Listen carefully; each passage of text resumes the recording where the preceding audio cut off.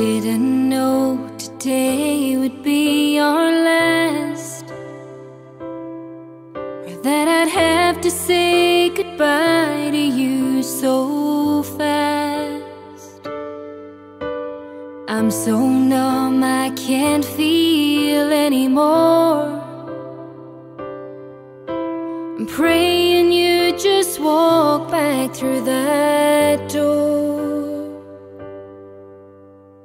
Tell me that I was only dreaming. You're not really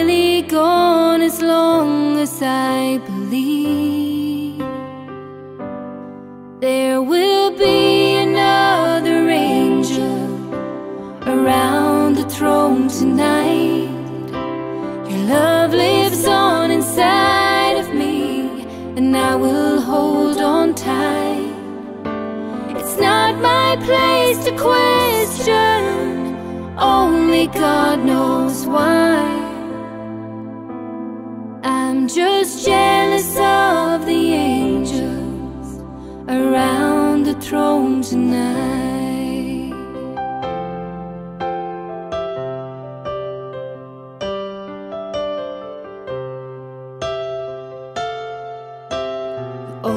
Always made my troubles feel so small. And you were always there to catch me when I'd fall. In a world where heroes come and go. Well, God just took the only one I know. So I'll hold you as close as I can, longing for the day when I see your face again. But until then, God must need another angel around the throne tonight. Your love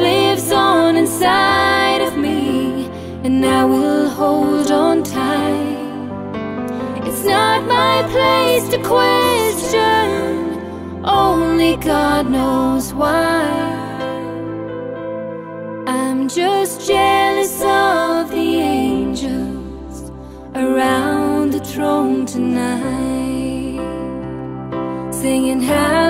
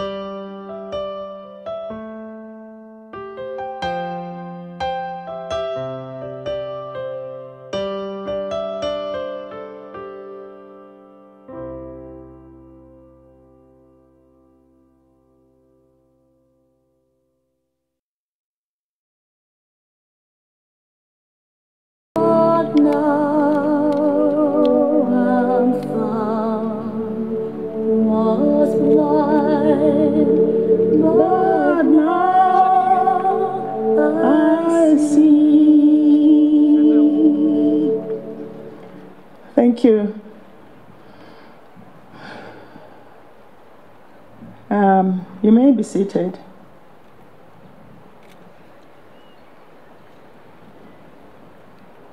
Hmm.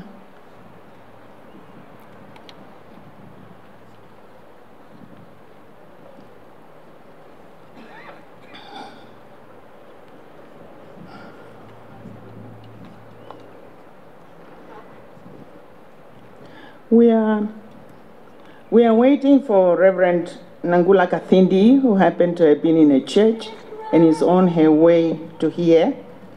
Um, meanwhile, I will try and uh, welcome everybody to this sober moment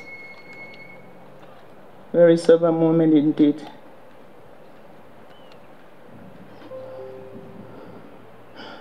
Thank you all for coming. His Excellency, the Deputy Vi- the Vice President of the Republic of Namibia,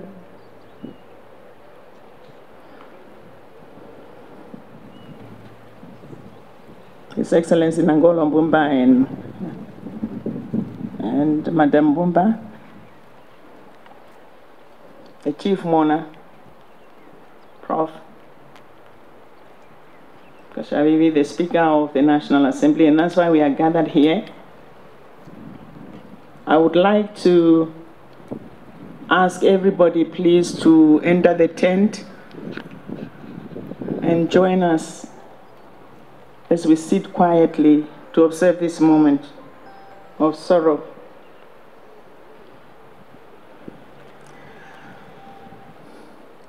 It's a very difficult moment since um, Jane passed. I, I hadn't spoken. I hadn't said anything. I had gone to the house. I didn't know what to write in that consolation book. Because for those people who do not know how long I've known Jane, I met Jane in 1980, 42 years ago, even before they got married and prof. So she had been a very close friend of mine and a family. But I've been given this opportunity and honor to, to be the director of proceedings of this occasion. I hope that I will be able to hold my tears. I want to introduce the chief mourner as Professor Peter Katjavivi omwashondanga wahi akarungu komukutomangava hmm. maano vakuva opera. Munhu akwauti vakwauti vauronganawo shamano vakwatwa vakwauti vakwenda ta. Novanasho vakwauti kunwa mukwavo miyango kiyanjo ntengero nene. Koshigwana shauhongora xixetiere okuza komongwa omuhokwa auhembweya ogiye kukuramena po vakwaxivi ovandu mbondanga mbo ovanashe vakaimu kaimuka njothe njothe mukwashivi mina kusha no mbiri mo moruko kanto. Shomundu mbiri njothe no. Kuyo shimiango kusha ndangi shinene kusha mweri kuomba komona mwimu. Mweya muhe noka utambarairwa kusho puveri. Ndangi kokuya wenu runene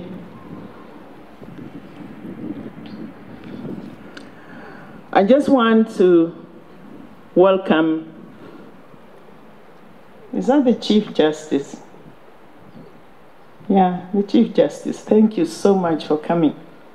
Um, and all, all protocol observed. We are mourning, I'm welcoming all mourners. And I want to specifically welcome the close family of late Jane Katjavivi, the two sisters and um, the brother and wife. Thank you for coming um, to accompany our daughter to Namibia. She refused to be English from Leeds. She decided to become an Ovitoto girl and Namibian girl. Thank you for donating her to us the privilege of meeting both Jane's late dad and mom. Um, so we'll interact. I want to especially welcome the children, Isabel and, um, and your kids, and Perivi, my son, and your babies. Thank you. And Wanaingi, thank you for standing by your dad so firmly, so firmly, and so convincingly. Thank you for doing that job. As an only daughter of your mom, And your, your mother had always been standing in for everyone before she passed. So maybe you have taken that mantle to look after us. Thank you. Reverend Kathindi is here. I want to translate a little bit to those people who didn't know. I was just trying to follow the lineage of Professor Peter Katjavivi um, to welcome the parents who stand in for his dad and mom family who came from Aminuis to join us. Because we, the Hereros, would like to be, to be noticed and recognized and acknowledged because we feel we have to fill our space. And I, that's why I, I inquired who came and I was told, thank you so much for coming. And the Chief Justice as well was welcome. Dear Monas, welcome, and Reverend Kathindi, my friend. I also met uh, Reverend Kathindi in 1980, um, a very special friend of mine. We, we met on the streets of London. Um, she, she was on the other side of the road on Oxford Street, and I was walking on the other side. And um, I just noticed that they look like Namibians. He was uh, with late Michael Hishikushicha. And I crossed over and I greeted them in Oshiwambo. And they're like, ah, what did she say? They didn't expect somebody to greet them in Oshiwambo. And that's how we became friends from that time onwards. My dear friend, Kathindi, come forward and open the gathering with a word of prayer.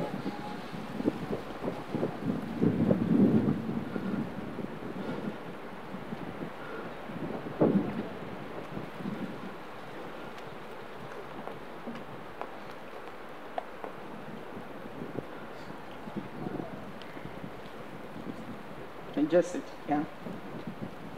The height of my friend, yeah. And later you want to just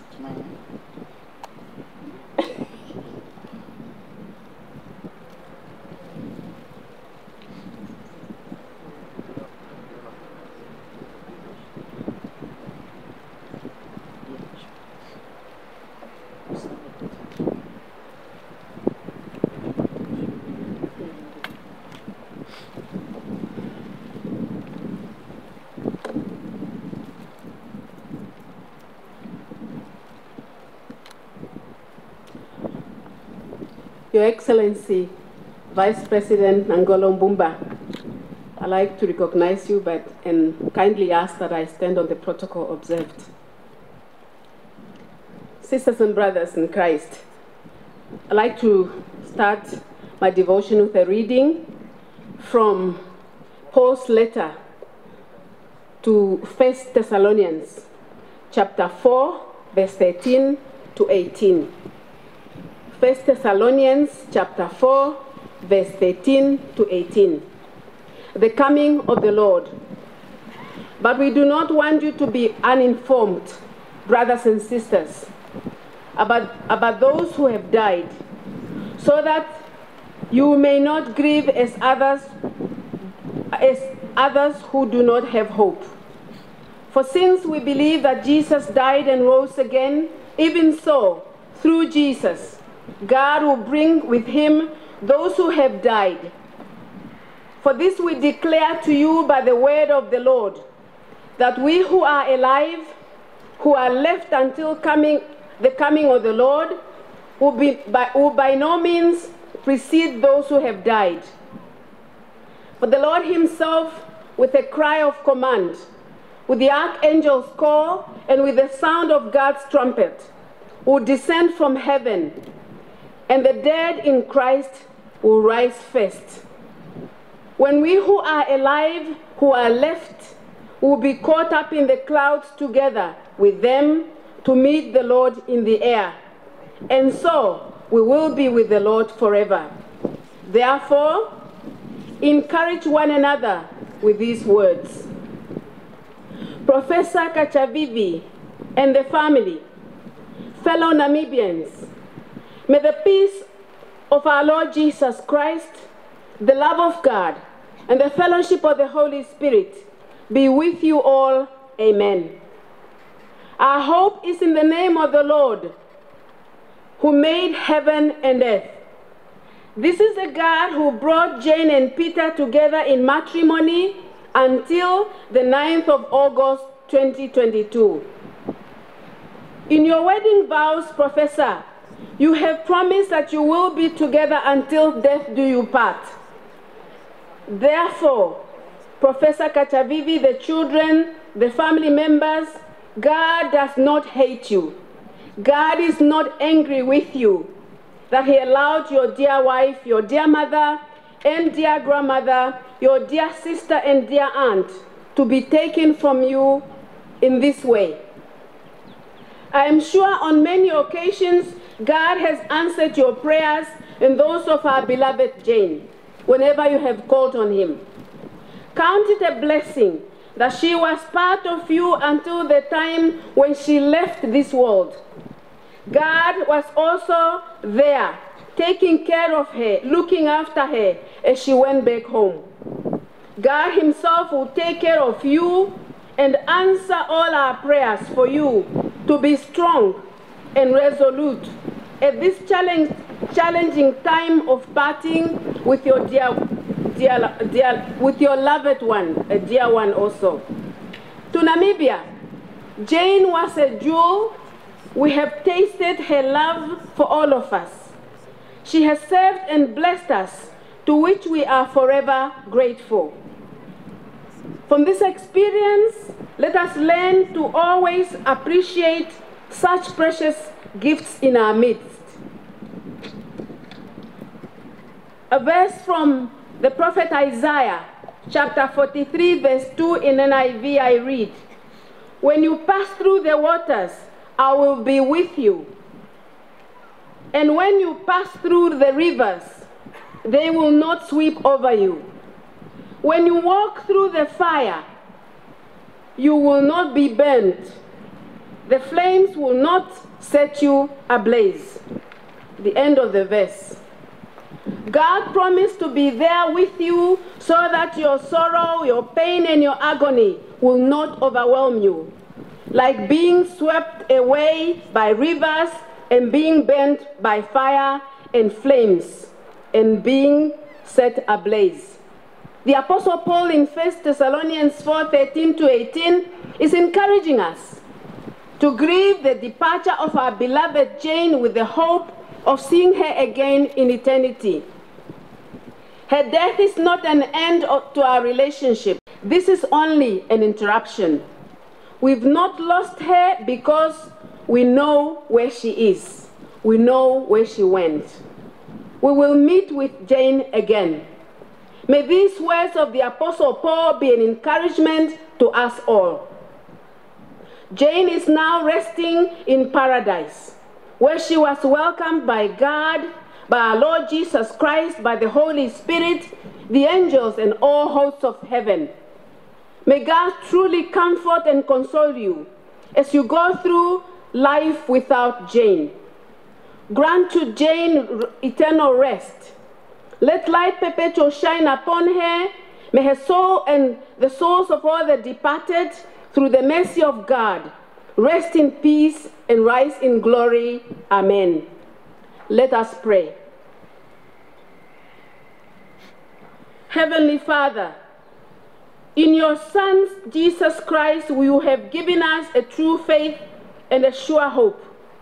Help us to live as those who believe in the communion of saints, the forgiveness of sins, and the resurrection of, to eternal life. And strengthen this faith and hope in us all the days of our life. Through the love of your Son, Jesus Christ our Lord. Amen.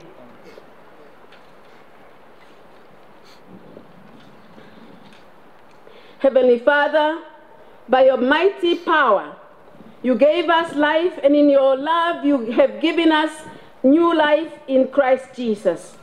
We entrust Rosemary Jane Katjavivi to your merciful, merciful keeping in the faith of Jesus Christ, your Son, our Lord, who, who died and rose again to save us, and is now alive and reigns with you in the Holy Spirit, in glory forever. Amen. Grant us, Lord, the wisdom and grace to us Awrite the time that is left to us here on earth. Lead us to repent of our sins, both the evil we have done and the good we have not done. And strengthen us to follow in the steps of your Son in the way that leads to the, the fullness of eternal life. Through Jesus Christ our Lord. Amen.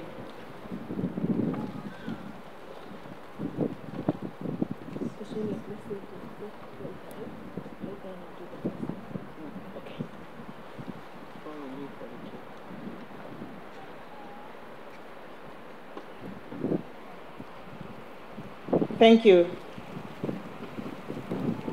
Thank you, Reverend Kathindi. Um, at this time, I would like to to call on Patricia Okhurus to come and and sing a song to Jane. And also at the same time, I would like Advocate Bience Gawanas to get ready to come and read the eulogy.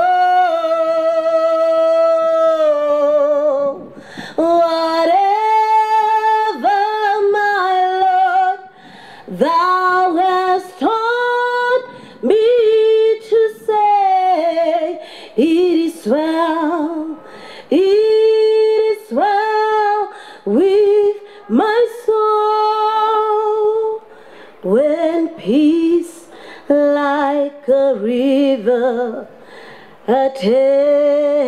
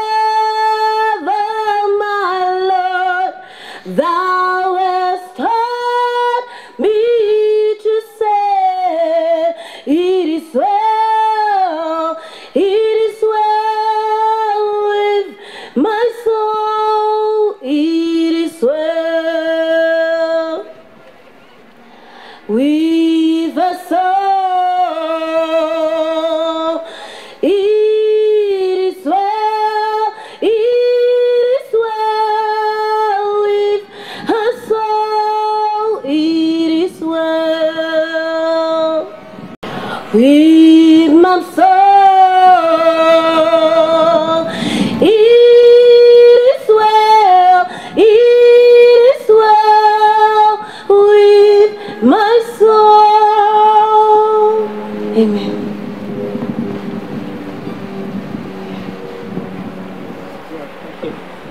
Thank you for that rendition. It is well with her soul indeed.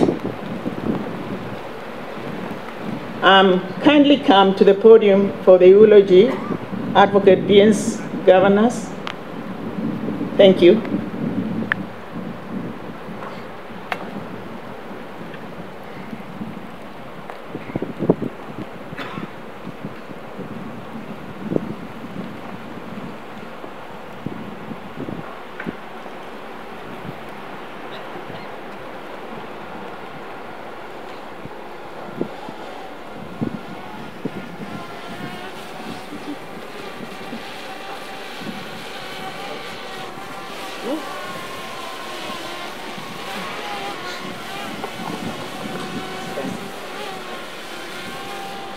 Your Excellency, Vice President and Madam Mbumba, Speaker, but I'm here not in that capacity. I'm here as a friend and as a sister. and the family and the mourners present here. I'm reading the life story of Rosemary Jane Tuawana Katjavivi as prepared by the family. Jane was one of three sisters and a brother in a large and loving family. Growing up in the northern industrial city of Leeds in England. Born a decade after the end of the Second World War, Jane was acutely aware of post-war poverty and deprivation. The understated but strong Christian ethics of her parents influenced the lives of her and her three siblings, Sarah, John, and Helen. So her concern for others began early, joining church groups to raise funds for self-help health projects in Africa and Asia. At 17, she began her undergraduate studies at the University of Sussex in the School of African and Asian Studies, later completing a master's. Jane entered a world, a new world, made friends from around the world and began campaigning for justice in Southern Africa. Her years at Sussex University and later as scholarship officer for the World University Service were formative and set her life course and ultimately her lifelong commitment to an independent Namibia. In 1976, Jane went to work in the small SWAPO London office with Peter Katjavivi, the UK and Europe SWAPO representative then. Work was intense, involving long hours, dealing with many crises at the height of the SWAPO liberation struggle. And as fate had it, it was not just working together as comrades, but they fell in love. And from that point, Jane dedicated her life to two things supporting Peter and supporting Namibia. When she and Peter moved to Oxford doctorate, the third of her lifelong commitments came into being the birth of Perivi and later Isabel. Jane was fiercely proud of her children, grandchildren, and her extended Namibian family.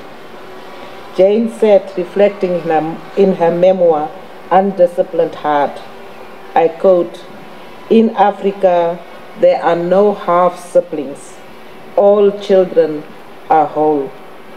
Jane became mama to a wide ever expanding Katjavivi clan. Jane and, Mar uh, Jane and Peter married in Oxford and had a happy and loving mar marriage of over, over 40 years. But Jane never really gave up the role she was appointed to in 1976. Throughout her busy and active life, she threw herself into proudly supporting Peter and quietly managing his life, along with that of her family and household. Dedicated as Jane was to supporting Peter, her family, and a newly independent Namibia, she was undisputedly her own woman who forged a unique role for herself in Namibia. Jane entered publishing in Namibia with gusto. Months after arriving in Namibia in 1989, Jane opened a publishing house, the New Namibia Books. Advice from overseas publishers was that the market was too small for New Namibia books to be viable. But Jane, with the words of a primary school teacher ringing in her ears, there is no such word as can't, made it happen. She made the only Namibian publishing house a success. Its aims were to build peace, justice, and unity, and publish new books for a new education system. These were also Jane's personal aims. Jane published books by Namibians, especially giving voice to women who had fought and struggled during the days of the armed conflict with the illegal South African regime the Price of Freedom, Last Steps to Uhuru become, Becoming Bestsellers. Five years later, Jane opened the new Namibia bookshop just off the mall in Windhoek.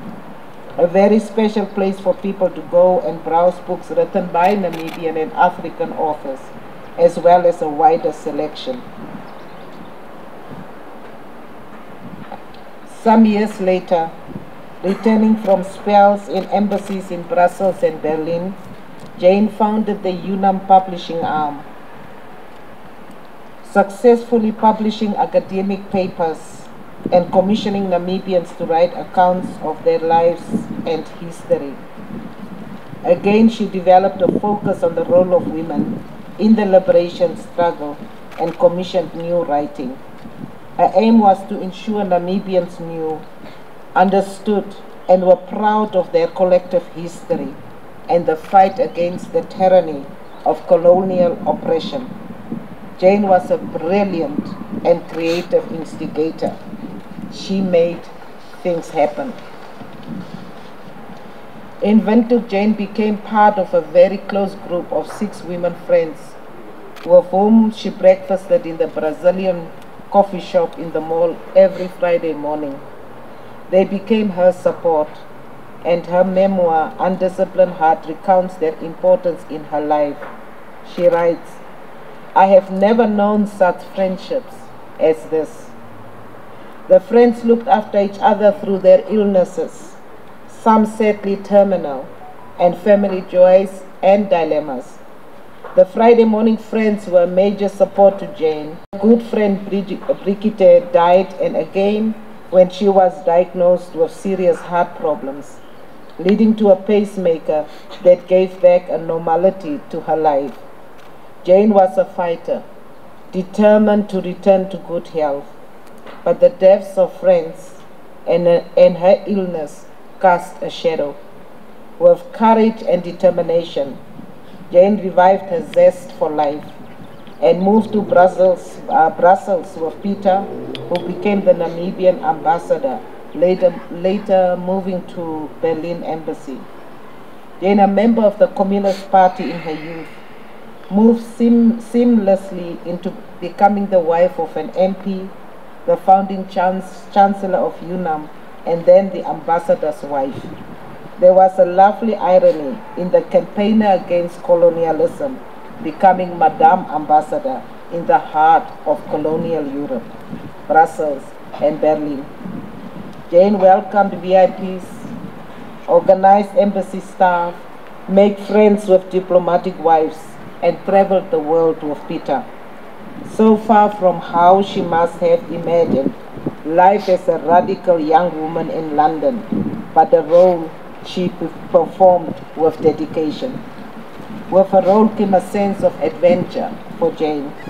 And back in Europe, she was able to see more of her beloved UK family, especially her aging parents. But Namibia was her home. And when she and Peter returned to Namibia in 2008, she was thrilled to see again the clear blue skies, the sun, and the open space of her adopted country. There were many memorable evenings and occasions that might be remembered at home and abroad. Jane made sure that everyone was welcomed in style. Her quiet, warm nature perfectly managed the dichotomy between being a politician's wife and maintaining her own views and developing a formative role in Namibian publishing. She had a very wide circle of friends, and all were to be found in the Katjavivi house. The dinner table was often alive with stories, laughter, and political discussion. Jane and Peter brought people from different parts of their lives together, and together they navigated the Namibian political landscape. Jane was so proud of the creative and artistic achievements of Perivi and Isabel, of her husband Peter's achievements, and her life in an independent Namibia. Jane's death was sudden, unexpected, and untimely after another short bout of ill health. We mourn her. We have lost an irreplaceable partner, mother, grandmother, sister friend, and comrade. But she would not want us to be sad for too long. Too much to do, and so much to change. A Quaker, a Quaker aspiration is to love adventurously. Jane loved her life with excitement, and her life was an unexpected adventure. Her life may have been tragically cut short, but she packed into the wonderful adventure she loved more than most of us would in 10 decades. She was an example. Jane cared, and so she acted. When her friend and sister in law died, Jane read a passage from the Society of Friends at her memorial. And this is how Jane lived her life and would, and would want us to believe. Death is not an end, but a beginning. It is but an incident in the life of ages, which is God's gift to us now. It is the escape of the spirit from its old limitations and its freeing for a larger and more glorious career. The spirit is now free, and the unseen angel at our side points upwards from the grave and whispers, She is not here, but is risen. But may I just add something, if you allow me, Program Director, that Jane definitely made Namibia her home. She made sure that she came back to make Namibia her last resting place. That is how much Jane loved this country. But I'm also very angry with myself that I never, never take her advice to put my experience and my ideas in my head into the hands of people as she did many. But I will definitely one day do it. My condolences, PK, and the wider family. Thank you.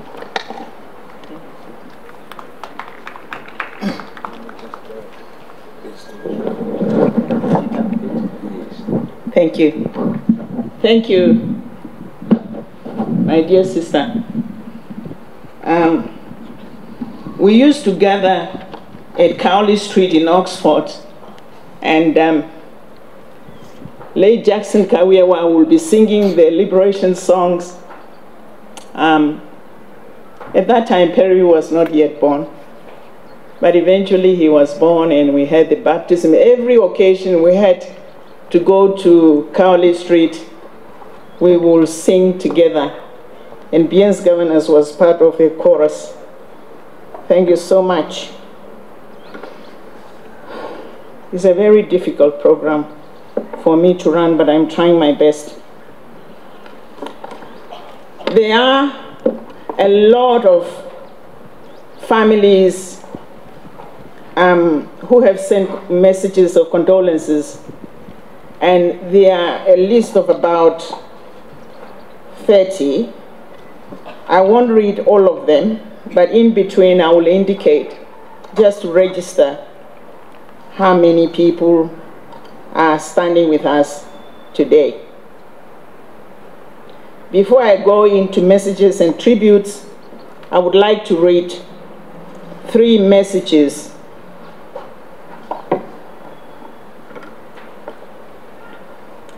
This is from the Sam Nujoma Foundation. Uh, Honorable Professor Peter Katjavivi, Speaker of the National Assembly, the children of the entire Brief family, Comrade Professor Peter Katjavivi, the children Perivi and Isabel, as well as the extended families, loved ones and friends. It is with profound sadness that I have learned of the passing of your beloved wife, mother and grandmother, the late comrade Jane Rosemary Katjavivi, on Tuesday, 9th of August 2022. There are no words that can bring comfort at this time, but may your pain be relieved. May your hearts be eased. May your tears be wiped away.